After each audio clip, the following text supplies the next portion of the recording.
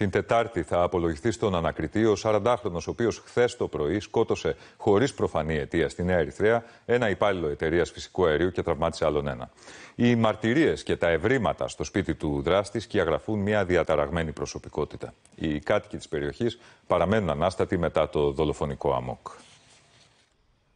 Από αυτή την ταράτσα έβγαινε ο δράστη του εγκλήματος στην Ερυθρέα και πυροβολούσε σκορπώντας τον δρόμο στους περίοικους. Στο ίδιο σπίτι βρήκε η αστυνομία σπαθιά, όπλα και σφαίρες. Έκανε συνεχώς δοκιμές με φλόμπερ πάνω καταρχήν, με ένα στόχο που έμοιαζε με ανθρώπινο. Πυροβολούσε συνεχώς πουλιά, γάτες από πάνω κάτω. Το πρωί του Σαββάτου πυροβόλησε και σκότωσε ψυχρό το 43χρονο υπάλληλο, ενώ τραυμάτισε σοβαρά το αφεντικό του την ώρα που έκαναν εργασίες φυσικού αερίου. Μόλις μπήκα σπίτι, μετά από δύο λεπτά άκουσα του πυροβολισμούς. Αλλιώς το ήσασταν εδώ έξω. Βέβαια, βέβαια. Στην αρχή νόμιζα ότι ήταν κάτι ε, με το, με το αέριο κάτι συνέβη, δεν φανταζόμουν.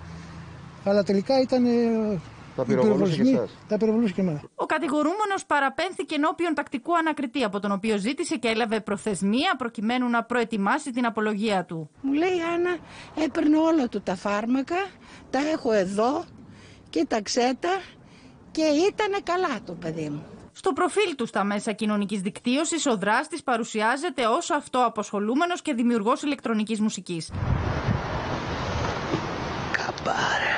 Σε αυτό το βίντεο φαίνεται να κρατά μαχαίρι κατά τη διάρκεια προπόνησης και ασκήσεων που παρέδιδε σαν μαθήματα σε όσους ήθελε να μοιήσει στις πολεμικές τέχνες. Περπατούσε σχετικά προκλητικά, θα έλεγα. Υπήρχαν φορές που σταματούσε και κοιτούσε τους ανθρώπους που ήταν στο πεζοδρόμιο, στο ναυλί τους, χωρίς να μιλάει. Η εισαγγελία άσκησε ποινική δίωξη για τα κακουργήματα της ανθρωποκτονίας σε απόπειρα και τετελεσμένη κατά συρροή και της παράβασης του νόμου περί ναρκωτικών. Ασκήθηκε δίωξη και για τα πλημελήματα της οπλοφορίας και της οπλοχρησίας.